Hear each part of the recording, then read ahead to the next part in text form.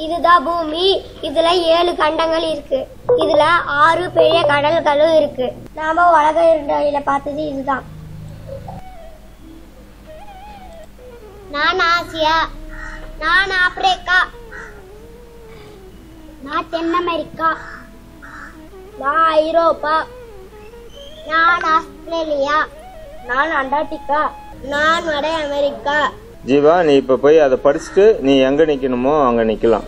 Atlantic பெருங்கடல் வட அமெரிக்காவிற்கும் மற்றும் ஐரோப்பாவிற்கும் இடையில் அமைந்துள்ள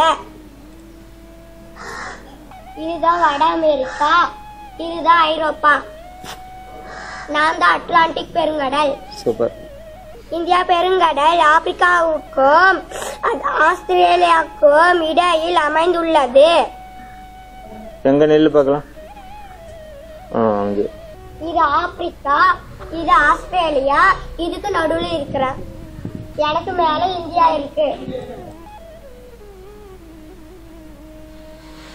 ஆர்டிக் பெருங்கடல் வட அமெரிக்கா ஆசியா மற்றும் ஐரோப்பாவிற்கும் மேலே அமைந்துள்ளது.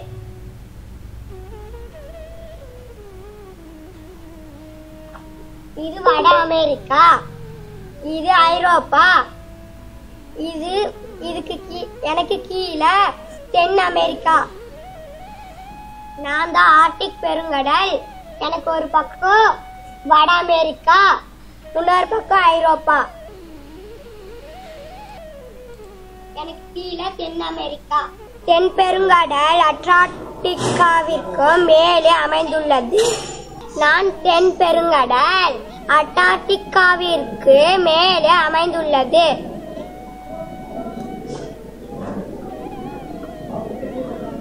நான் அண்டார்டிகாவுக்கு மேலே அமைந்துள்ளேன். எனக்கு மேல ஆப்பிரிக்காவும் ஆசியாவும் இருக்கு. பசிபிக் பெருங்கடல் வட அமெரிக்காவிற்கும் ஆசியாவிற்கும் இடையே அமைந்துள்ளது. எனக்கு ஒரு பக்கம் வட அமெரிக்கா இருக்கு. இன்னொரு பக்கம் ஆசியா இருக்கு. எனக்கு கீழே தென் அமெரிக்கா இருக்கு. இப்போ நமது கோவில் பாடத்துல ஒரு விளையாட்டு விளையாடுறோம் விளையாட்டு விளையாடுறதுக்கு முன்னாடி நாம வந்து முன்ன படிச்சதை பார்த்துக்கலாம். இது உலகம். இதுல ஏழு கண்டங்கள் இருக்கு. இது வந்து வட அமெரிக்கா. இது தென் அமெரிக்கா. இது ஆப்பிரிக்கா. எப்படி இருந்து பாருங்க. இது ஆப்பிரிக்கா.